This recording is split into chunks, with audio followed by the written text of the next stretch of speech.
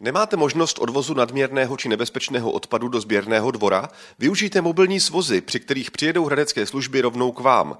Jarní mobilní svozy odpadu začínají v Hradci Králové 12. března. Mobilní svozy odpadu slouží pouze pro občany města, slouží pro odpady, které občané nejsou schopni přivést na sběrný dvůr. Pokud má někdo ty odpady naložené už ve vozidle, ve vleku, tak bych chtěl poprosit občany, aby odpady v tomto větším množství vezli rovnou na ten sběrný dvůr a nezaplňovali kapacitu zbytečně, kterou máme stanovenou na ten mobilní svoz. Odpad bude postupně odvážen z 92 stanovišť ve všech částech města.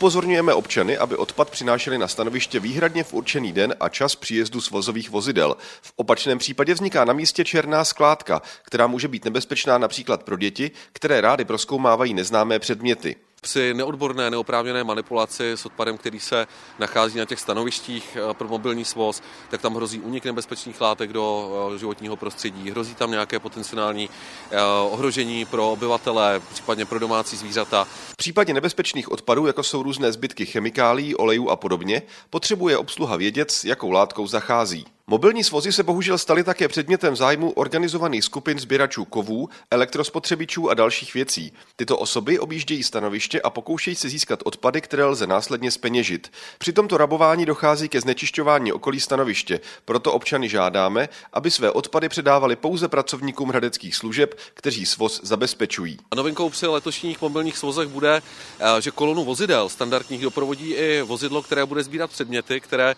se nemusí stát odpadem, které jsou využitelné udržitelné k opětovnému použití. Toto vozidlo bude ty předměty sbírat a odvážet je do tzv. reuse pointů, které jsou na všech čtyřech sběrných dvorech v Hradci Králové. Tyto předměty potom budou um, k dispozici k prodeji pro další občany.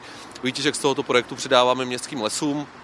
Za rok 2021 jsme v rámci projektu Reus neboli opětovného použití věcí vybrali kolem 70 tisíc korun. Při mobilních svozech nejsou přebírány odpady ze zeleně, stavební sutě, demoliční odpad a odpady z jakékoliv podnikatelské činnosti. Další informace a podrobný rozpis mobilních svozů naleznete na stránkách hradeckých služeb nebo na www.hradeckrálové.org.